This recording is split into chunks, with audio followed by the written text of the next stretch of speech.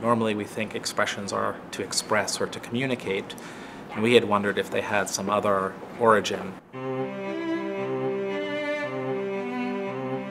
We tested another idea, is that facial expressions originated not to communicate, but actually to change the way the person perceives the environment.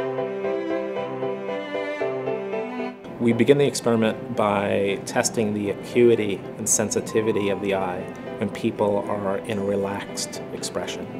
And then we follow that by examining the effects of fear expression, widening the eyes, on enhancing the sensitivity of the eye.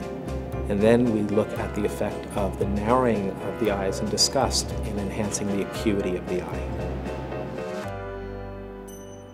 What we found is during fear, with the opening or the widening of the eyes, this enhanced the ability for their eyes to pick up on information at low light levels.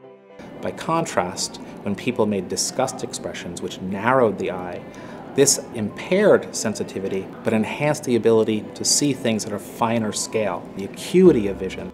It's not just about the opening or closing of the eyes. It's about how the center of your eye, the fovea, becomes more sensitive to visual information. So fear and disgust had opposing effects on how the visual system operates.